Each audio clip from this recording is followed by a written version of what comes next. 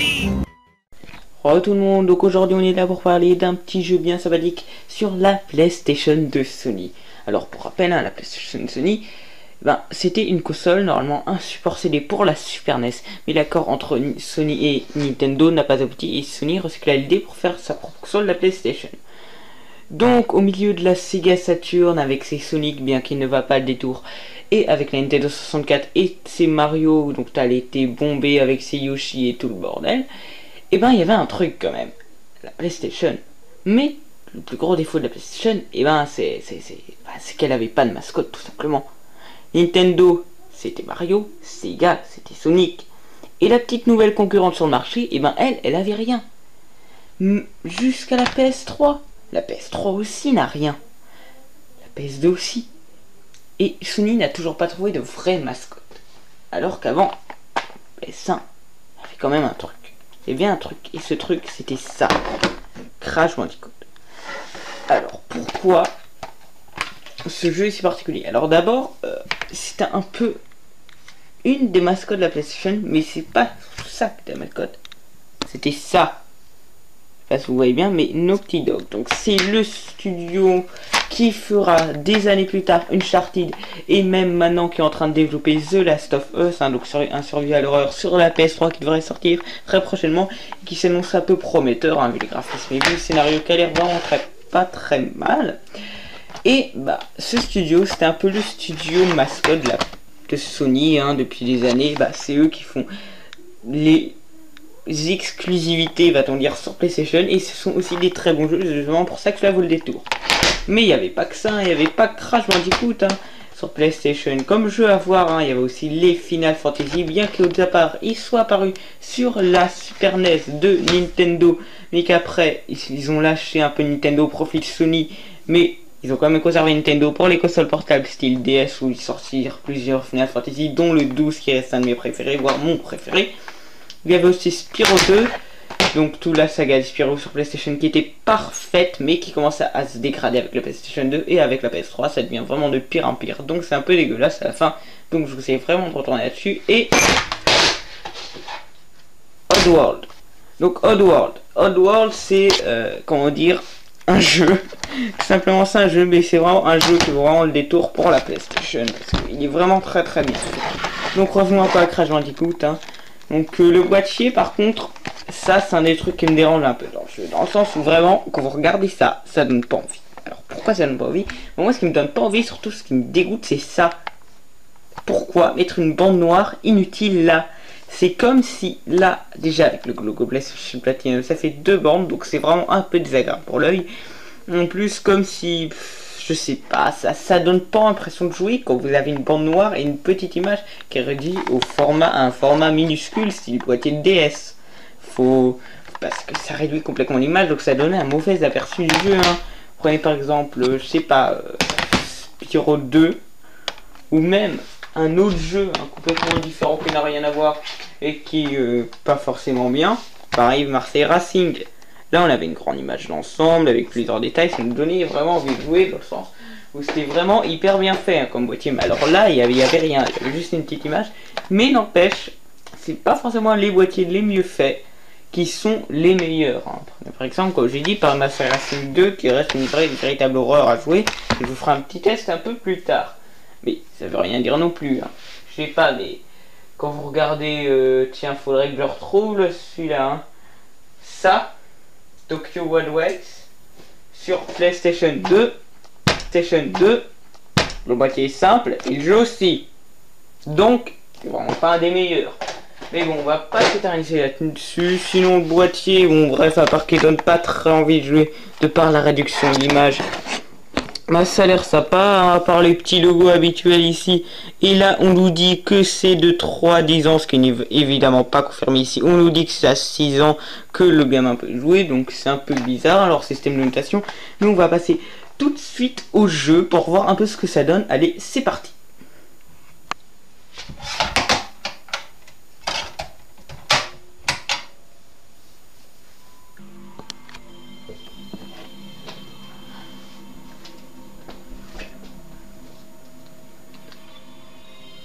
Ah, il est beau ce logo, hein, quand même.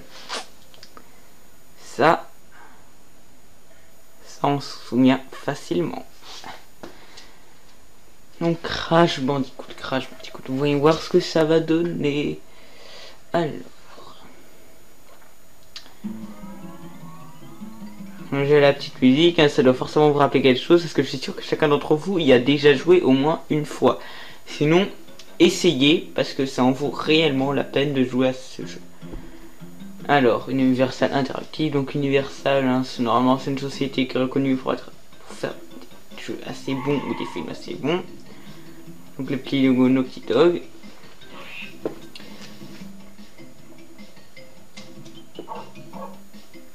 Alors, nous voilà donc avec Crash. Donc Start. On va commencer une nouvelle partie. Je pense que ce sera plus simple. Alors, donc oui, donc hein, c'est maintenant ce que vous voyez un peu sur Super Mario Bros DS. Vous avancez à des points différents hein, quand vous allez dans le menu. Hein, donc c'est ce qui apparaît maintenant dans Mario Bros. Tout. Parce que bon, ça a été un peu repris de là, je pense, au moins que ça existait déjà avant. Donc là, on voit que Crash s'échoue sur une plage avec des têtes d'arbres et des bateaux sur le sable. Donc oui, par contre, ce qui est assez gênant, c'est que vous pouvez pas jouer en analogue. Donc vous êtes obligé de jouer avec les flèches euh, de la croix directionnelle. Et ce jeu n'est pas compatible analogue. En même temps, il est sorti au début de la PlayStation, donc c'est peut-être un peu normal. Mais cette fonctionnalité aurait été euh, un peu pratique dans le sens parfois c'est pas très bien pratique de sauter sur les caisses avec la croix surtout euh, bah voilà sur les caisses hein. Parfois pour les sauts aussi donc là donc euh, de vous montrer un petit peu tout à l'heure mais si vous récupérez euh, trois masques je crois oui je crois que c'est trois masques et eh ben euh, vous aurez vous serez invincible pendant un certain moment quelque chose comme ça alors là je saute. D'ailleurs je sais même pas ce que j'ai touché parce qu'à mon avis je devais toucher une caisse en haut, hein, comme le principe de Mario. Donc je vais pas essayer de sauter dessus. Ah voilà, oh là là, une petite caisse. Donc oui, donc le jeu graphiquement, bah pour les débuts de la PlayStation, c'est bon, hein, faut le dire. Hein. C'est c'est différent comparé à ce qu'on avait sur le console concurrente, hein, 64. D'ailleurs, je dis pas que 64 la Saturn sont moins bonnes. Hein. Parce que bon, quand même, la Saturn reste ma console un peu préférée de cette, cette époque 32 bits. Hein. Après, en 64, je préférais la Jaguar. Mais bon, après, je à ses avis, hein, parce que bon, la Jaguar avait de très bons jeux, hein, Alien vs Predator, Doom, Doom sur Jaguar CD, qui était, qui était soi-disant la meilleure version, que j'ai jamais essayé. Donc on avait de, très bons jeux, hein, donc voilà, donc voilà, j'ai récupéré les trois masques, donc là, regardez, non! J'ai sauté trop tôt, donc j'étais invincible, mais j'ai sauté trop tôt. Aussi ces trucs là, ça, les petits masques bizarres euh, de, sorciers vaudou là, ils vous serviront à... Oh, ils vous serviront à euh, gagner les vies. Hein. C'est un peu comme Spiro et à Libellule Sparks ou un truc comme du genre qui vous suit tout le temps. Et eh ben euh, c'est votre jauge de vie. Si vous en avez 3, c'est vous êtes invincible pendant un certain moment. Si vous en avez 2, il vous reste deux vies, si vous en avez un, il vous reste une vie, et quand vous n'en avez pas, vous faites toucher, bah vous mourrez le premier coup. Donc euh, c'est assez sympa comme système, bien que repris après, ça a été repris après euh, dans Spyro 2. D'ailleurs je pense qu'ils se sont inspirés de ça pour faire leur euh, système hein, chez Spyro.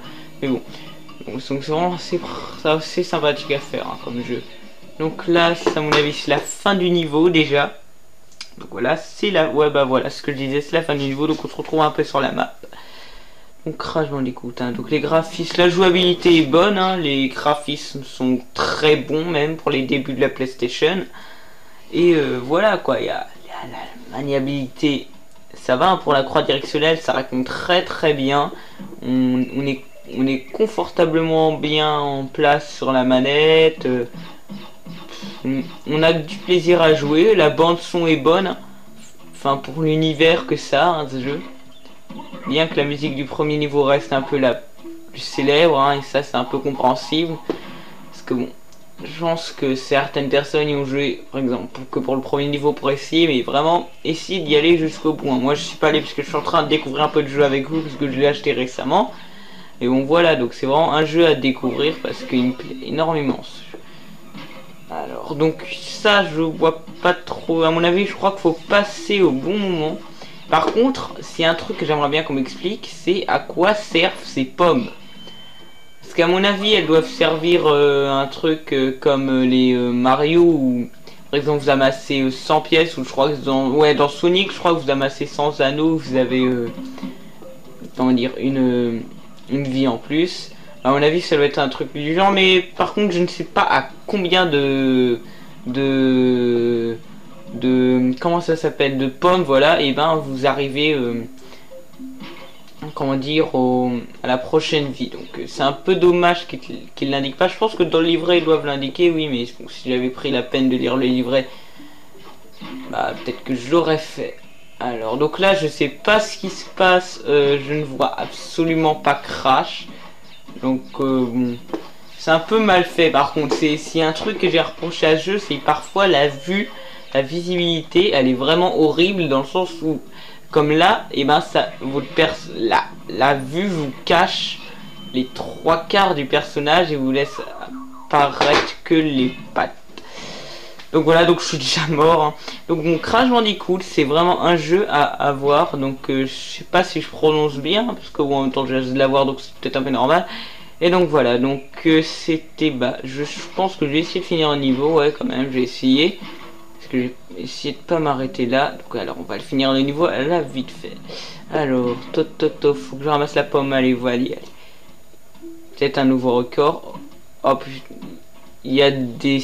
D'ailleurs, je ne sais pas ce que c'est, mais en tout cas, les animaux sont bizarres, non? Euh, Le contexte est assez bizarre de ce truc. Ça, faut le préciser quand même. C'est pas tous les jours qu'on voit un jeu de ce genre-là. Donc là, je vais essayer de passer au bon moment. Oui, oui, oui, oui. Allez, allez, 70... Oh, oh fait, ça se tue ces trucs.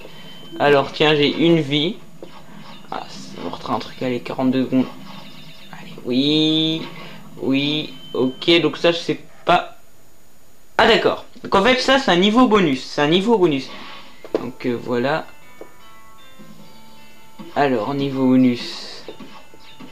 Donc c'est à ça que ça servait les petites cartes avec une tête de bonne femme dessus. Alors, oh là là, faut que je termine.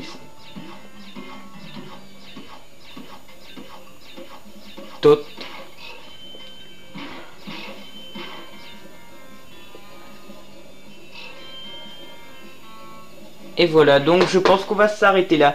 Donc c'était Crash Bandicoot avec Dick et lui et je vous laisse à la prochaine pour la vidéo suivante qui sera portée sur un jeu Dreamcast normalement. Cette fois-ci, n'oubliez pas de vous abonner si vous le voulez. Allez, salut